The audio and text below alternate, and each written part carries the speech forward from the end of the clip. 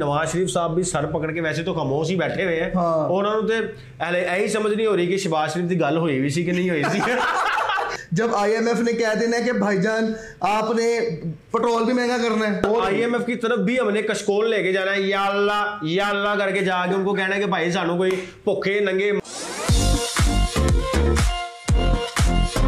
अस्सलाम वालेकुम व्यूअर्स, मेरा नाम है मोहसिन और मेरे साथ है अली जान और आप देख रहे हैं हमसे जानो।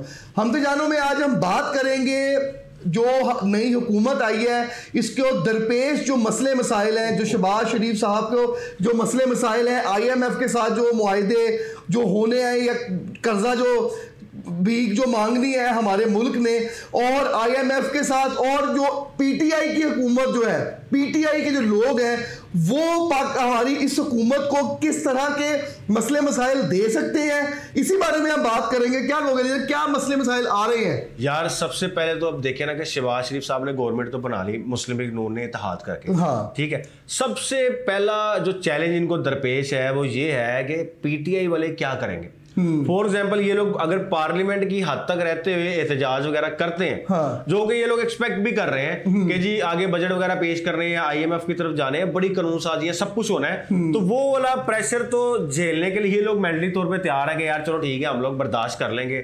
शोरगुल होगा हंगामा होगा। लेकिन अगर पीटीआई जो कॉल दे देती है जैसे कि अली मीन गंडापुर ने कहा है जी कि हम लोग जो है सड़कों पर एहतजाज करेंगे और हम गवर्नमेंट को चैन से नहीं बैठने देंगे तो तब जो है एक तो इकोनॉमी हमारी देख ले महंगाई किस तरफ जा रही है अभी और और- आईएमएफ की तरफ भी हमने कशकोल लेके जाना है या अल्लाह या अल्लाह करके जाके उनको कहना है कि भाई सानू कोई भुखे नंगे मर गए सानू पैसे दे दो ਉਹਨਾਂ ਕੋਈ ਪੈਸੇ ਲੈ ਕੇ ਵਾਪਸ ਉਹਨਾਂ ਨੂੰ ਦੇ ਦੇਣੇ ਆ। हाँ तो बिल्कुल वो डबल मुश्किलात का सामना हो जाएगा तो अगर तो पीटीआई सड़कों पे निकल आई हाँ, और साथ आवाम भी निकल आई। तो मैं कहता हूँ शबाज शरीफ साहब के लिए बहुत सी मुश्किल खड़ी हो जाएँगी। नवाज़ शरीफ साहब भी सर पकड़ के वैसे तो खमोश ही बैठे हुए हैं। उन्होंने तो यही समझ नहीं हो रही कि शबाज शरीफ की गल हुई भी सी कि नहीं हुई सी। ਉਹ कितनी दफ़ा पूछ गए यार छोटे तेरी गल हुई सी कि नहीं हुई सी? तो ये इस टाइम सूरत हाल जो है वो इस तरफ़ जा रही है। नहीं जो आईएमएफ जो है अगर आईएमएफ कर्जे देने पे बात आदि हो जाए यानी कि बात मान लेता है कि हम देते हैं। लेकिन जो इमरान खान ने खत लिखा हुआ है कि जो मुझ जो आपने कहा था कि जी अ, आपने फुल एंड फेयर इलेक्शन करवाने हैं। अगर वो कहते हैं कि यार नहीं तो मुझे इलेक्शन फॉर्म 45 जो है वो निकाल के दो 447 नहीं देना मुझे। यार तो उसका क्या चक्कर है? इस इसको आप इस तरह से देखें कि फॉर एग्जांपल पहले जो है आईएमएफ वालों ने कुछ शराय नरम रख रही थी। हाँ। अब उनको पता है कि भाईजान चूहा जरा खिड़की दे फंसया है। उन्होंने अब उन्होंने हैवी किस्म की शराय आपके साथ मनवानी है। और उन्होंने कहना है भाजी बिजली गैस पेट्रोलियम फलान टमकान ये वो हर चीज़ को आग लगेगी। और वैसे ही रमज़ान आ रहा है।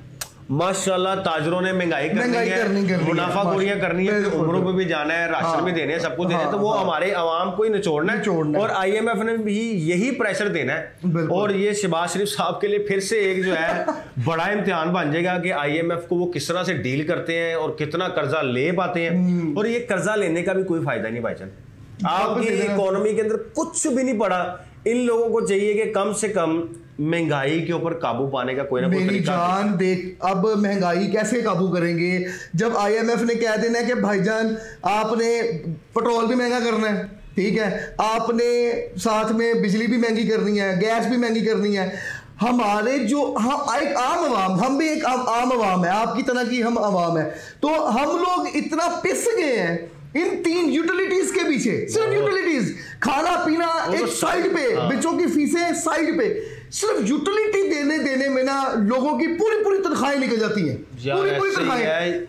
यहाँ तो फिर ये है कि यहाँ तो फिर ये है कि जी खादिम हुसैन रिजवी साहब कहते होते थे कि गोरी आया जे सीधा सीधा मना कर देंगे भाईजान कोई कर्जा गुर्जा नहीं है ना सी वापस करना है ना सी लेना है। हाँ। और किसी तरह कोई ऐसी स्ट्रेटजी बनाए पाबंदियाँ लगेंगी सब कुछ होगा आईएमएफ और अमेरिका की तरफ़ से प्रेशर भी आएगा लेकिन अगर हम एज ए नेशन मुतहिद हो गए और इमरान खान साहब भी थोड़ी देर के लिए अपना कीड़ा ठंडा करके अगर मुल्क की खातिर सोचने लग जाए तो मैं कहता हूँ कि 10 साल के अंदर अंदर मुल्क जो है वो काफ़ी हद तक अपने पैरों पे खड़ा हो जाएगा। यार अली जान ये देख मेरी बात सुन लॉजिकली बात कर।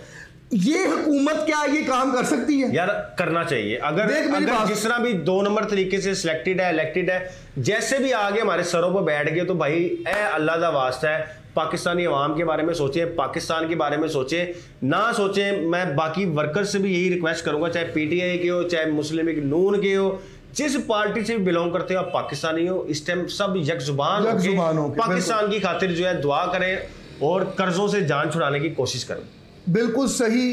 हम लोगों को यही करना पड़ेगा कि हम लोग ऐसा ही कुछ करें कि जिससे पाकिस्तान जो है, हम सबको, चाहे वो कोई भी गवर्नमेंट है, हम लोगों को चाहिए कि हम लोग मिल के एक जगह पे बैठ के और हम लोग मिल बांट के हम लोग इस मुल्क को रन करने की कोशिश करें।